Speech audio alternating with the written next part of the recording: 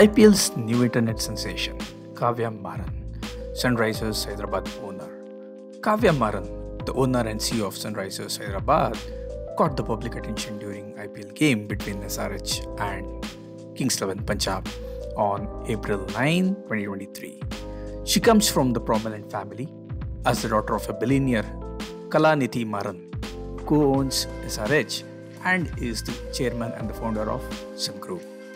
Kavya was born in Chennai on August 16, I'm sorry, August 6, 1992, and her family includes several well-known figures such as her mother Kaveri Maran, the CEO of Solar TV Community Limited, and her politician uncle Dayanidhi Maran.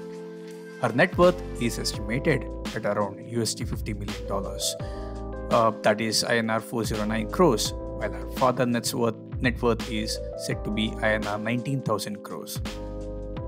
In addition to managing SRH, Kavya is involved in Sun TV Network's business operations.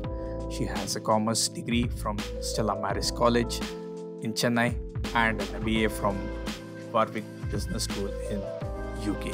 So this is all about Kavya Maran. So kindly uh, comment in the comment section if you want to add more details to it.